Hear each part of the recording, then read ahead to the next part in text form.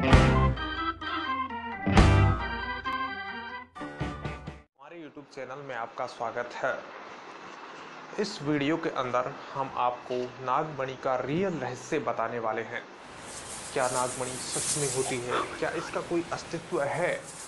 और विज्ञान इसके संबंध में क्या कहता है? आपने नागमणि के बारे में किताबों के अंदर, टीवी सीरियलों के अंदर मतलब सब जगह आपने देखा और पढ़ा होगा। कि एक नागमणि होती है, जिसके लिए लोग लड़ते हैं और उसको हासिल करना चाहते हैं और फिर महँगे दामों पर बेचना चाहते हैं।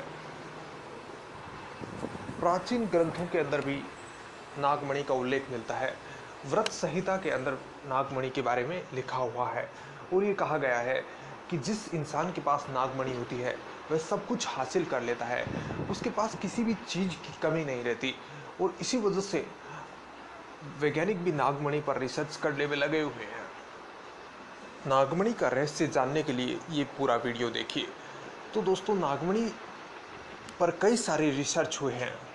हम इस वीडियो के अंदर उन रिसर्चों के बारे में भी ज़िक्र करेंगे, जिससे हमें ये पता चलेगा कि क्या वास्तव में नागमणि होती है या नहीं होती, या ये सब कुछ झूठ है।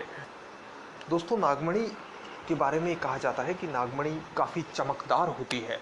और उसकी चमक काफ़ी तेज होती है। एक मतलब एक लाइट की बल्ब की तरह तेज होती है। और सबसे पहले हम ये जान लेते हैं कि जो नाग होते हैं, वो नागमणि का यूज़ क्यों करते हैं? तो दोस्तों, पुराणिक मान्यताओं के अनुसार नागों की जो हुड होता है, उनका सर जो होता है, उन पर वह मणि रहती है। और उस मणि की मदद से वे कीड़े, मकोड़े मतलब जो भी जानवर वो खाते हैं, उसको अपने पास एकत्रित करते हैं और फिर उनको मतलब वो खा जाते हैं, ऐसा माना जाता है।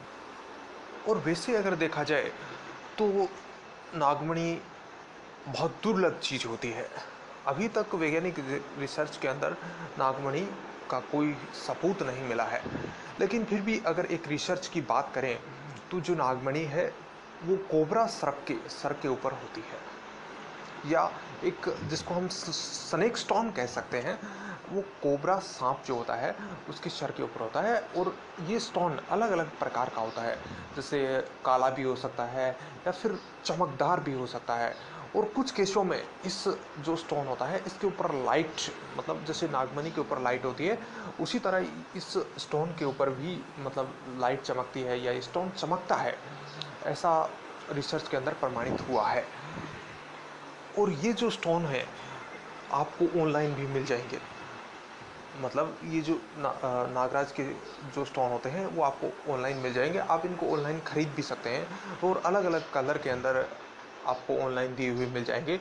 हालाँकि ये कहना मुश्किल है कि ये जो स्टोन है वो असली नागमणि है या नहीं लेकिन आ, मैंने ऑनलाइन पढ़ा कि इन जो स्टोन होते हैं इनका ज्योतिषीय महत्व ज़्यादा होता है।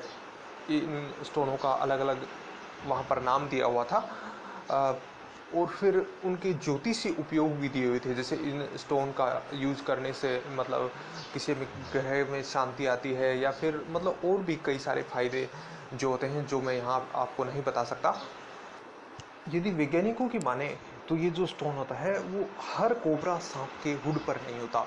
मतलब कुछ स्पेशल सांप होते हैं जो काफ़ी या तो बूढ़े हो चुके होते हैं और उनके सर पर ये सांप होता है। कई बार जो कालबीली होते हैं, वो इन सांपों को पकड़ते हैं और उनके सर से ये स्टोन अलग कर लेते हैं और उनको बेच देते हैं नागमणि के रूप में।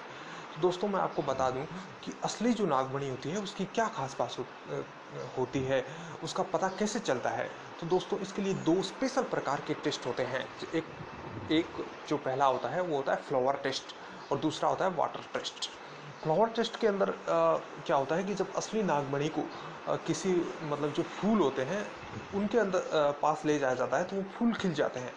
और वाटर टेस्ट के अंदर क्या होता है कि नागमणि को जब पानी में डाला जाता है तो वो डूबती नहीं है और पानी के ऊपर तैरती रहती है। ये असली नागमणि की पहचान है। और एक वैज्ञानिक रिसर्च के अंदर तो यह भी दावा किया गया था कि असली नागमणि एक व्यक्ति को मिली थी। हालाँकि मुझे उस व्यक्ति का नाम याद नहीं है, लेकिन कुछ जो स्टोरी याद है, वो मैं आपको बता देता हूँ। एक रिसर्च पेपर के अनुसार इधर मध्य प्रदेश की तरफ़ एक व्यक्ति था, जिसका नाम तो मैं आप, मुझे याद पूरा नहीं है। फिर भी जो भी नाम है, उसको नागमणि किसी नाग से प्राप्त हुई थी। और वह जब नागमणि को अपने घर लाया तो मतलब घर के अंदर काफ़ी अजीबोगरीब बदलाव होने लगे। अचानक से उसका जो बिज़नेस का स्तर है वो ऊँचा उठ गया और मतलब हर तरफ़ से वो व्यक्ति जो प्रोग्रेस करने लगा। लेकिन सबसे बड़ी बात ये हुई कि नागमणि घर आने के बाद उसके घर में चारों तरफ़ सांप सांप निकलने लगे, जिससे उसके घर वाले बिल्कुल बुरी तरह घबरा गए और फिर जब उनके घर वाले किसी ज्योतिषी के पास गए तो उस ज्योतिषी ने बताया कि आपके घर में नागमणि है। और उसके बाद जो व्यक्ति नागमणि लाया था, वह बुरी तरह डर गया और उसको वापस एक शिव मंदिर के अंदर चढ़ा कर आ गया। और जैसे ही उसने नागमणि को शिव मंदिर के अंदर चढ़ाया तो उसका जो बिज़नेस का स्तर है, उसकी जो प्रोग्रेस है, वो डाउन होने लगी और उनकी जो माली हालत है, वो बुरी तरह ख़राब हो गई। हालाँकि ये जो स्टोरी है, मैं आपको बता रहा हूँ, इसमें कितनी सच्चाई है, मैं ये खुद नहीं जानता, लेकिन मैं, मैंने ये पढ़ा था, एक अंग्रेज़ी रिसर्च